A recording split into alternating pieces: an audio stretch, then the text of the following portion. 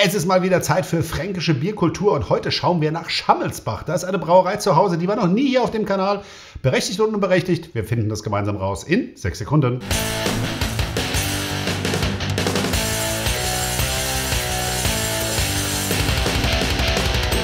Hey, schön, dass ihr da geblieben seid und damit herzlich willkommen zur heutigen Bierverkostung. Ich freue mich, dass ihr alle mit dabei seid und mit mir mal wieder einen kleinen Ausflug in die fränkische Bierkultur macht, denn da habe ich heute eine Brauerei, die war noch nie hier auf dem Kanal, aber es gibt viele, die sagen, da kommen richtig gute Biere her und das wollen wir natürlich dann rausfinden und äh, das machen wir heute mit dem Reuschler, dem Merzen aus der Brauerei Knoblach aus Schammelsdorf und ähm, ja, da äh, ist eine Brauerei am Werk, die ist seit 1880 als Brauerei ähm, ja, erwähnt worden, macht nur ausschließlich klassische fränkische Bier, Bierspezialitäten, ist ein Familienbetrieb, eine Gasthausbrauerei mit ähm, großer Trinkgefäßsammlung. Das wird sogar ähm, in irgendeiner Webseite erwähnt, dass da, ich weiß nicht, wie viele äh, Bierkrüge, die natürlich ähm, die Gäste dort einschließen können, äh, gelagert sind. Es werden nur lokale Zutaten verwendet und ähm, jetzt stellt sich der Frage, oder jetzt stellt sich die Frage, warum heißt dieses Bier Reuschler? Es ist ein Märzenbier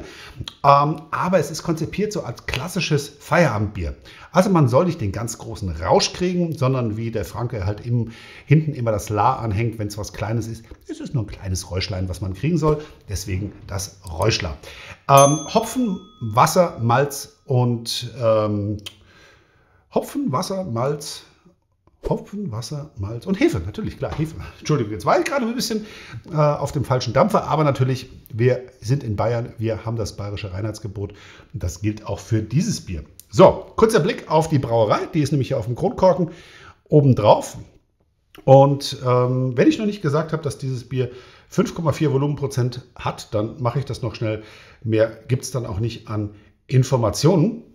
Und die restlichen Informationen zu diesem Bier, die kommen jetzt, nämlich nach dem Einschenken.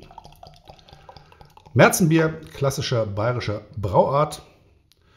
Und da wird der Österreicher sich ein klein wenig wundern, denn das ist ein bisschen ähm, dunkler als das, was er so kennt. Eine schöne, ungetrübte, hellere Bernsteinfarbe, äh, so ein bisschen orange, kupfern das Ganze. Sehr, sehr schön. Österreicher das Märzenbier so eher vergleichbar mit dem bayerischen Hellen. Ähm, schöner, weißer, sehr stabiler Schaum hier oben drauf. Der macht schon einen richtig tollen Eindruck. Haftet auch schön am Glas. Jetzt schauen wir, was die Nase sagt. Oh, das ist aber viel Malz. Deutliche Karamellnoten. Ähm, noch viel deutlicher äh, ein bisschen Biskuitmalz. Also das, dürfte, das dürfte schon ein bisschen malzlastig zugehen. Aber warum auch nicht? Seid wohl. Cheers.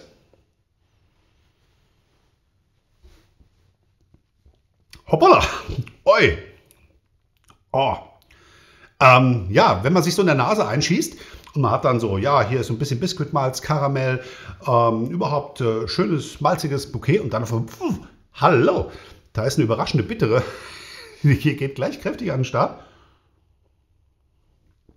Es ist auch malzig, karamellig, aber die Bittere, hoch, die hat mich jetzt gerade ein bisschen äh, überrascht und auf dem falschen Fuß erwischt. Es ist dann am Ende des Tages, es balanciert sich so nach dem zweiten oder dritten Schluck, ähm, aber das hat mich jetzt gerade ein bisschen überrascht.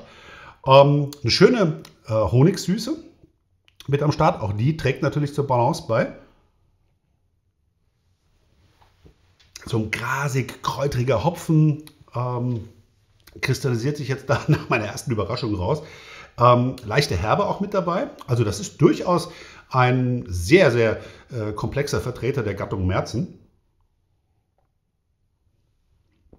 Bisschen Toffee, bisschen Brotkruste, aber insgesamt das Bier bleibt einfach super süffig und ähm, ja, richtig erfrischend einfach. Also auch da, Chapeau, viel richtig gemacht.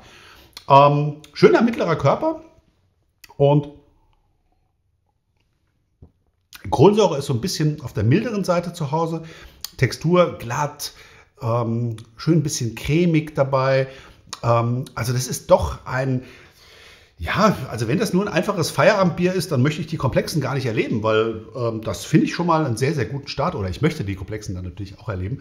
Aber äh, Brauerei Knoblauch, ich glaube, wir müssen noch mal äh, mit, miteinander irgendwie reden, da muss ich das eine oder andere Bier nochmal tatsächlich mir versuchen zu besorgen. Das ist schon ein sehr schöner Start.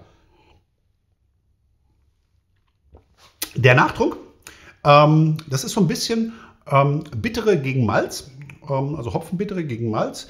Äh, es, und wir hatten vorhin so die orangenen Reflexe im Glas. Ich finde, es ist jetzt auch geschmacklich, kommt so ein bisschen Bitterorange äh, hinten rein. Mag mich da völlig, völlig täuschen, aber vielleicht liegt es auch an meinem T-Shirt.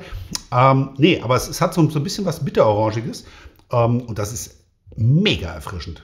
Ähm, kräutriger äh, Hopfen und dieses Brotkrustenaroma auch mit dabei. Also, hoppala, was ist den Daumen gefallen? Ähm, ja, es ist ein äh, richtig schönes Märzen, das Räuschler von der Brauerei Knoblach aus Schammelsdorf. Und ähm, ihr seht mich restlos begeistert und das heißt in diesem Fall vier von fünf möglichen Punkten für das Räuschler von der Brauerei Knoblauch. Dann soll es das von meiner Seite aus heute gewesen sein. Jetzt muss ich mal schauen, was da gerade äh, umgefallen ist. Ich glaube, es war eine Dose in meinem Dosenkistchen, die ich aber aufhebe, weil es gibt ja Leute, die wollen nie Labels haben. Es gibt Leute, die wollen meine leeren Dosen haben und ähm, da ist gerade offensichtlich irgendwas umgefallen. ähm, ja, vier Punkte haben wir gegeben ähm, und äh, ich glaube, es ist sehr wohl verdient. Und äh, die Brauerei Knoblauch, die war sicher nicht zum letzten Mal hier auf dem Kanal bin gerade Fan geworden. Und wenn ihr das auch seid, dann lasst doch gerne ein Abo von dem Kanal da. Würde mich freuen, wenn ihr morgen auch wieder mit dabei seid bei der nächsten Bierverkostung. Bis dahin sage ich Tschüss, Papa, Servus, Prost und Ahoi. Cheers!